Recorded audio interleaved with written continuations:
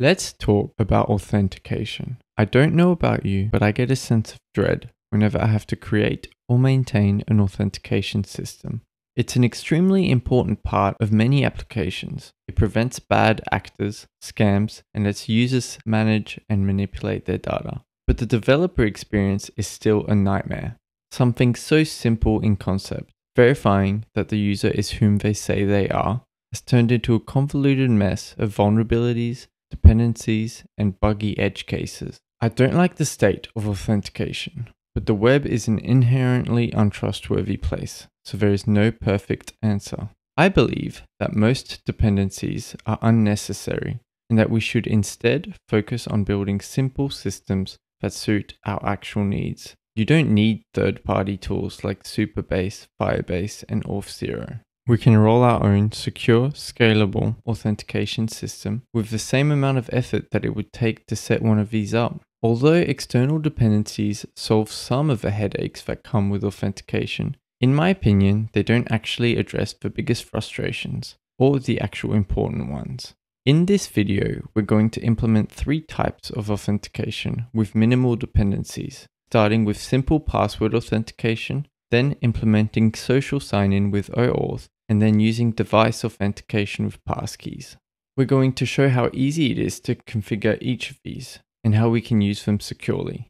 But we're also going to show their weaknesses and explain why none of these are the perfect solution for authentication. They all come with their own frustrations. I'm also going to show my preferred way of authentication, which is done by using passkeys with a password manager. Authentication, not to be confused with authorization, is a process by which we verify the user is who they say they are. This is an inherently difficult problem. The internet is an open protocol and it is a trustless environment.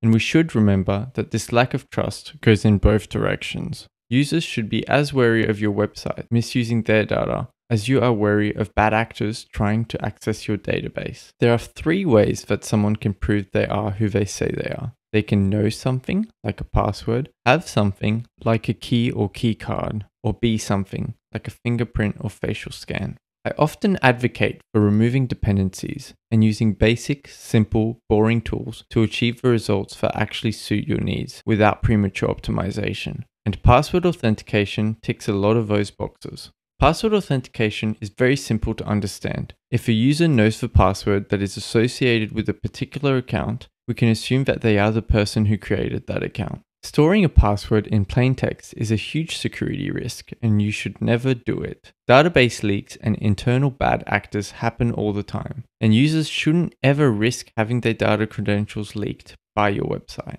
I created this little sandbox authentication page. It's a normal registration form with three changes. It doesn't store any data, it doesn't redirect you anywhere, and it logs events that happen on the client and on the server to give you an idea of what is happening when you perform certain actions.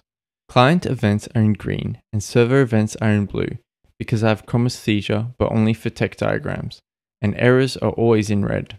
The best way to prevent storing a password in plain text is to hash it. A hashing function is a function that is deterministic, meaning it always produces the same output, and relatively cheap to perform but very expensive to reverse. The same password hashed with the same algorithm always gives the same hash, even for different users and different services. So, as an added layer of security, we also add a random string to each user's password. This is called a salt, and it is randomly generated for each user. I made a little debug window to show the detailed view of what happens when salting and hashing. This is just a demonstration, and the actual salt will be generated by the server. When I submit a request, you can see the events show that we received the password over HTTPS, salt the password, hash the result, and then store the hashed password and the salt with the user ID. I coded this up in Kotlin since it's what I'm most familiar with, but these concepts can be applied to any language. I start by generating a new salt.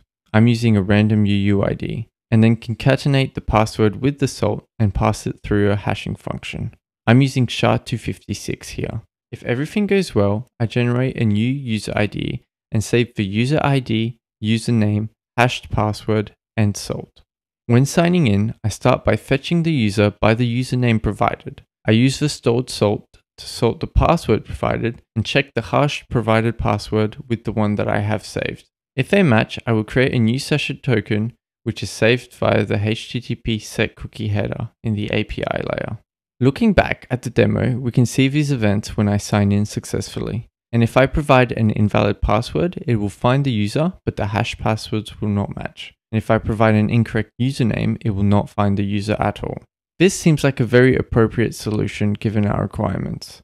There is just one problem, and it's that protecting users from malicious actors is an order of magnitude easier than protecting them from themselves. It's only a matter of time before a user forgets or leaks their password. And now you have to deal with emails and implement a password reset. My default solution in situations like this is usually to tell the user that this is just the way it is, but I don't think that's appropriate here. This is a really common occurrence, and creating a new account isn't a valid option for a lot of products. Dooming yourself to an endless sea of support tickets doesn't seem very pragmatic. We can change the username field to be email and add a password reset link. When pressed, this link will redirect us to a new page where we can input our email. Submitting sends an email to the user with a one-time code embedded in a link. The server saves this one-time code with the user's email. When the user follows the link, they're allowed to update their password. This will do the same process we initially did when registering them, by salting and hashing the provided password. This adds a little complexity to our server. We now need an SMTP client so that we can send emails. But sending basic emails is very easy to do. I just embed my one-time code directly in the link in the email body. When setting the new password, I read the user's data to grab their salt and use it to salt their new password and replace the previous data. Now we are essentially using access to their email as an authentication method. Anyone who can access their email can access this account. So why should I make them remember an extra password? If I'm going to rely on another service for authentication anyway, I'd rather it be more secure and easier to use. A better method is to implement OAuth 2 so that they can sign in with their email or other account directly. OAuth 2 is an open mechanism by which you can authenticate someone using a third party. Most commonly, this is done by signing in with Google, Facebook, or Apple, but it can be done with anyone who supports it. We're going to be using GitHub. This approach makes a lot of sense. Most people spend most of their time in one of the three platforms mentioned. So why not leverage their existing accounts and make their life simpler and more secure? After signing in, we are redirected to the third party service. We sign in and approve whatever permissions has been requested by the app. In this case, it is just access to your email. The third party service will then create a one time code, which is relayed back to our original app. Our server then exchanges this one time code for an authenticated token using a secret shared between the third party service and us. We can now use this token to fetch details directly from this other service about the user in question and verify that they are who they say they are. After this, we can create a session. Before we can use this, we have to set up an application with GitHub. They provide us with a client secret, which is private, and a client ID, which is public. And we provide them with an origin, which is the website where the request is expected to be coming from, and a redirect URL, which is the endpoint they will send the one-time code to. This implementation has a little bit of added complexity, since we now need a client to communicate with the external service but it's still very straightforward. The sign in button is just a link to GitHub with an unguessable state value, which prevents man in the middle attacks. The server just reads the code and the state provided, makes sure that the state matches, and then we make a request to GitHub for the access token. Finally, we can access the user's details. We create a session and return that to the user the same way we did for password login. There are some services like Supabase and Firebase which essentially do this for you. But OAuth is so simple and consistent that the time integrating with these services could be spent implementing OAuth directly. Supabase and Firebase don't solve the actual problem with OAuth, which is that Google, Facebook, and Apple are a nightmare to work with. Do you remember when I said that we should just use OAuth instead of email because it's the same thing but more secure? There is one difference, and that difference is that email is open. You don't need anyone's permission or approval to send an email. Google needs your full privacy policy and terms of service before you can even submit your app, after which it will be reviewed by Google, a process which can take days. They can also revoke your access at any time. Facebook has a similar process, but they also require HTTPS on the client. So now you can't run your app locally without jumping through hoops or Cloudflare tunnels.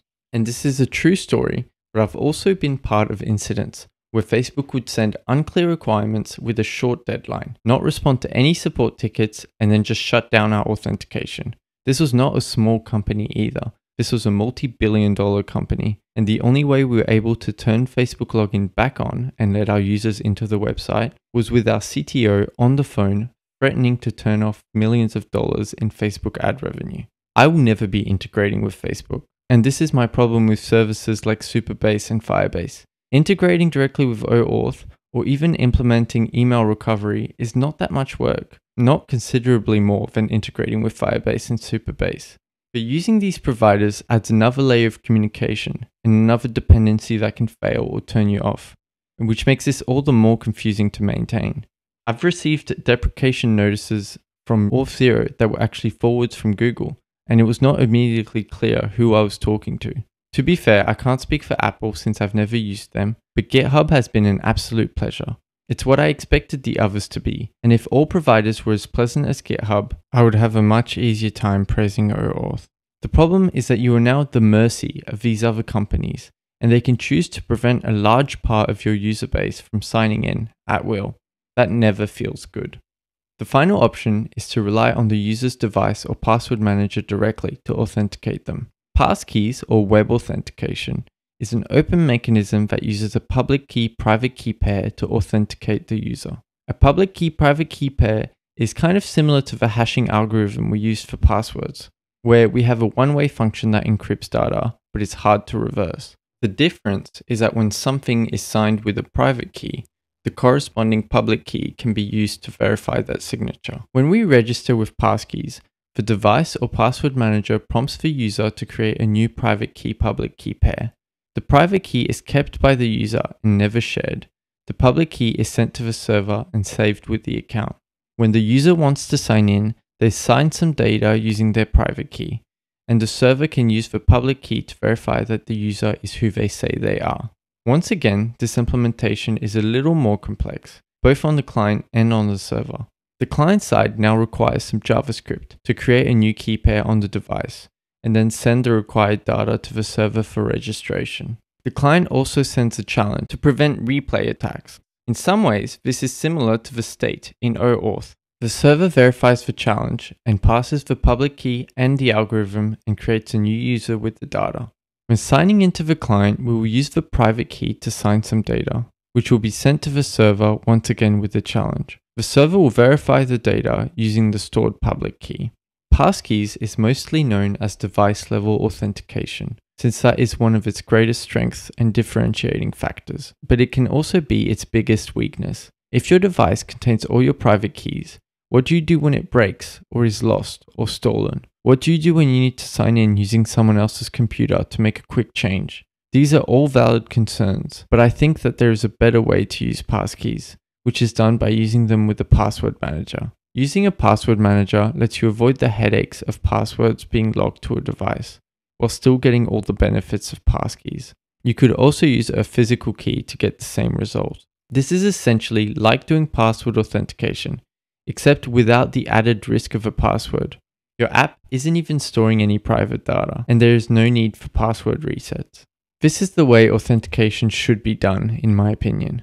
This is the pragmatic, straightforward, zero dependency approach. But the world is not quite ready yet. Almost everyone is already using a password manager directly through their browser, whether they know it or not. But not everyone is comfortable using password managers yet. And out of those who are, not everyone understands and trusts passkeys. When sign in pages first started popping up, the only way to sign in was by creating a password. Now that social login has gotten more popular, we have hybrid sign-in pages where social authentication is clearly preferred, but you still have the option to sign in with email if you want to. Each of these have their own strengths and weaknesses.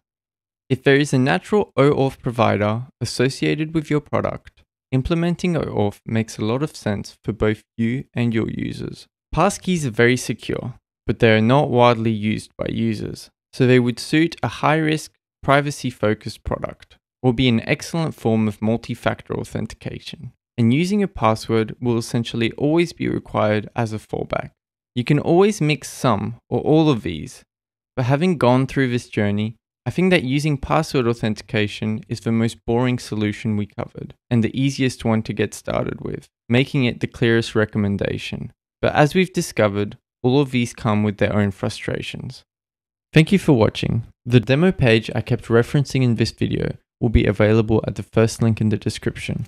Please don't put your actual password in there, since it shares some server data and is inherently less secure. OAuth and passkeys are fine though, and you can use your actual account for those. I'm not sure how long I'll leave it up for. It'll be free, but there'll be a little donate button if you're feeling generous and interested in learning projects like this. I hope this was somewhat entertaining and somewhat educational. I really appreciate everyone watching. It's been so special to see the interest in these videos. Okay, goodbye.